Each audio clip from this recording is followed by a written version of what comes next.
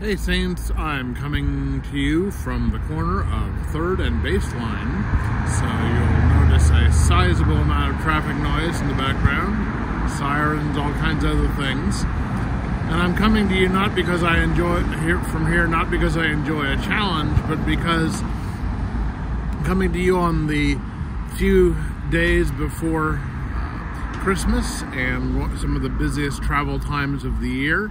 Uh, and uh, thought I'd uh, come to you from this busy travel uh, corner and uh, just remind you that uh, Christmas is a time, yes, to gather with family, yes, to travel for that reason, but it's also a time in which we are invited to slow down, to stop, to get to a red light in our own lives, uh, to consider the gift that is Jesus in our own lives and in our church.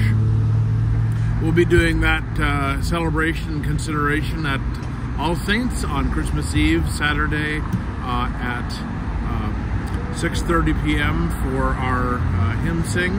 And then also we'll be uh, starting our service at 7 p.m. immediately following that. And then, of course, Sunday is Christmas Day, but it's also a Sunday. Uh, so we'll be doing a 10 o'clock, our usual 10 o'clock service, uh, but it will be not, won't, won't have any music with it, uh, and uh, will be a more contemplative, quiet service. So you're invited to come to one or both of those. But most of all, uh, wanted to thank all of you for uh, your pledging and for your financial support uh, in 2022 and your pledge financial support in 2023.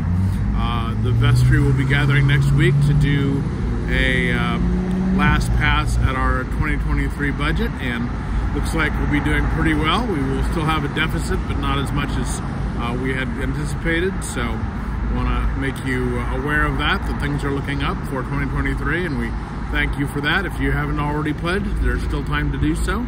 Uh, so you're welcome to click on the link below this video for that and uh, or uh, send a pledge card in or however you want to do that. But I uh, just wanted to uh, greet you and uh, say Merry Christmas in advance to all of you and really appreciate your support for All Saints this year and I want to make sure that you have a chance to stop and consider and think about and pray about and give thanks for uh, Jesus in your life uh, and uh, all saints in our lives.